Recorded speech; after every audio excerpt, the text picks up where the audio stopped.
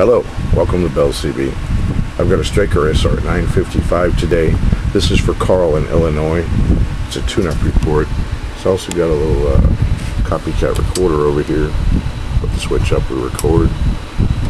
Put the switch down, we can play it back over here. Maybe we'll try that out in a little bit if there's somebody on the air when we try it out. Over here on the watt meter, Karl, we got 30 watts across the bottom scale. High power is 15. I'm going to turn this scale now to 10 watts and turn the power down. See it goes down just a bit over 3. I'm going to turn it back up again. Alright, now we're going to check out over here. We got uh, 100 watt slug reading our power across this bottom scale here, Karl.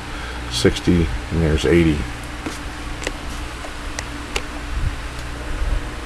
Audio. Check, check, check, check, check, check, check. Audio. One, two, three, four, five. Check, check, check.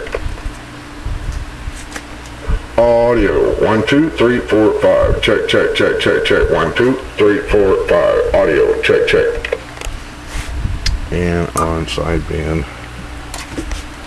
Audio. One, two, three, four, five. Check, check, check, check, check. One, two, three, four, five. Audio. Check, check, check. One, two, three, four.